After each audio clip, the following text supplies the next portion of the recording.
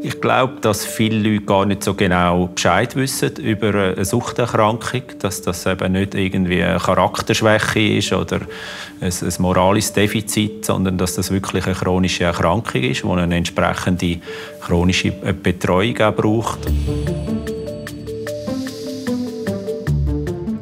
Das Angebot von der ARUT zeichnet sich aus, dass möglichst viel unter einem Dach angeboten wird, sprich, dass man die ARUT zum Psychiater kann, zu der Hausärztin, zu der Infektiologin und auch zu der Sozialarbeiterin und die alle zusammen in einem Team arbeiten und so hat man eine umfassende Versorgung bei uns.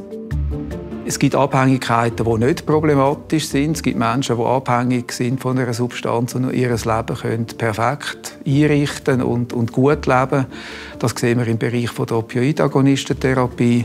Also in dem Sinn ist für uns die Frage, wo kommt der Substanzgebrauch in Konflikt mit dem Ziel, das ein Mensch in seiner Lebensführung hat.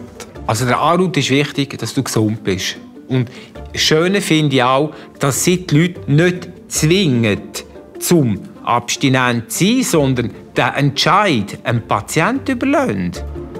Also die Stärke der ARUT ist ein Angebot, das wirklich maßgeschneidert wird auf den einzelnen Menschen, der bei uns in Behandlung kommt. Dass wir den Menschen dort abholen, wo er ist, dass wir ihn nicht überfordern und dass wir quasi mit dem Fachwissen, das wir haben aus den verschiedenen Berufsgruppen, die hier arbeiten, für ihn eine Behandlung bereitstellen können, die alles abdeckt, was er braucht.